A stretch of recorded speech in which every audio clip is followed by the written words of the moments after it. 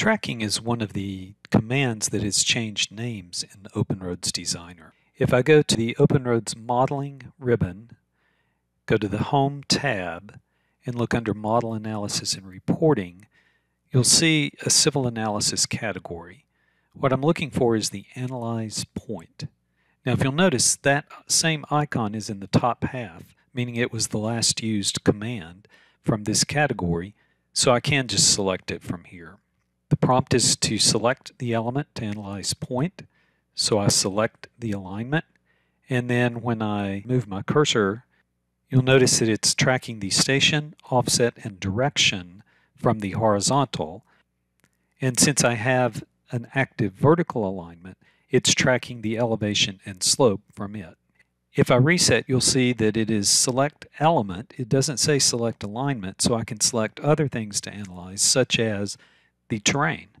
So if I pick the terrain, it's tracking the elevation, slope, and aspect of the terrain. If I data point in the file, you'll notice that it writes the graphics for the directional arrow and the slope.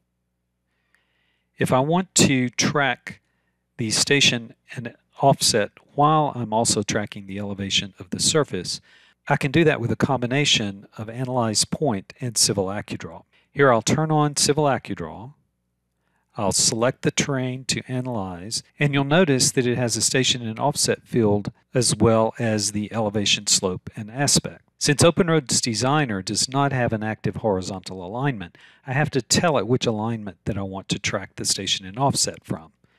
If I hit the letter O on my keyboard, then it will prompt me to select a reference element, in which case I'll select the alignment, and then the station and offset prompt tracks the alignment while the additional prompt following my cursor tells me the elevation, slope, and aspect from the terrain. So using that combination, I can get both.